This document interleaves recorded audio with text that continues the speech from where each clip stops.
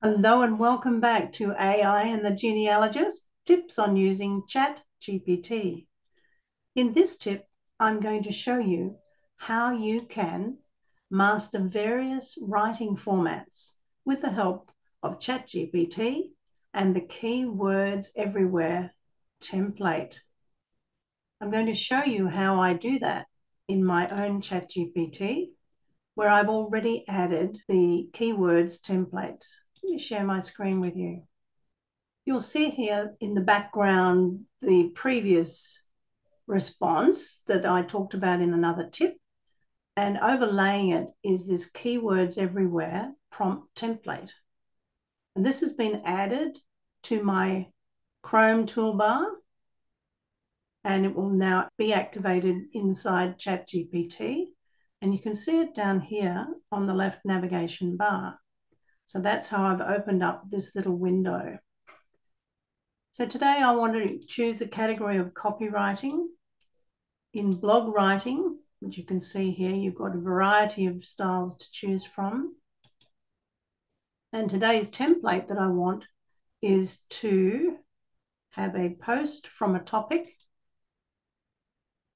And what it does, it gives me the prompt template, as you can see here. I won't read it all out to you, but suffice to say that this is a prompt to rule all prompts because it gets ChatGPT to do exactly what you ask of it. And that is, I will give you a topic for an article and I want you to create an outline for the topic with a minimum of 20 headings and subheadings. I think maybe half a dozen headings and subheadings would be enough.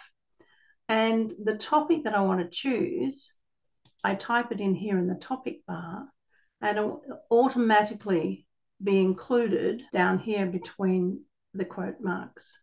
So my topic today is how to write my ancestral stories with help from ChatGPT. And if you noticed, it added that down here at the same time.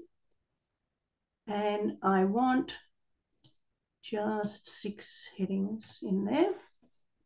So make that adjustment and then execute the template.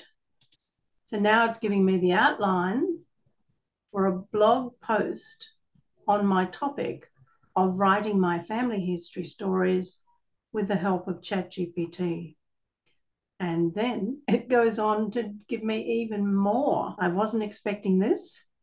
However, it's all good because it's actually giving me some paragraphs that I can work with. And it's showing examples as I go. This is ideal for a blog post about writing your family history stories with ChatGPT. I think that sentence there is relevant and worth noting that after receiving the generated text, review and edit to ensure its accuracy and coherence. This step is crucial for producing a polished narrative that accurately represents your family's history. But wait, there's more. Enhancing the story, it's given me some ideas about injecting emotional depth and then comes up with a conclusion. So that gives me more than enough in the way of text and ideas to write that blog post. So what I would do next is copy all of that to my clipboard, control C and paste it into a Google Doc or somewhere else where I'm preserving all of my responses. So have a go at that. If you're keen to learn how to write with a different genre, then look at adding the keywords everywhere template to your chat GPT. Then create that prompt to rule all prompts and use it frequently to get the best out of your chat GPT advice. Because once you have that prompt, you can simply use the same prompt over and over again.